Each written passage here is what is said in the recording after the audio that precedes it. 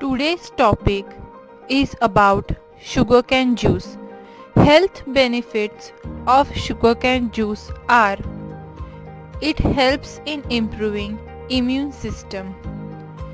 It is recommended in diabetes because of its low glycemic index.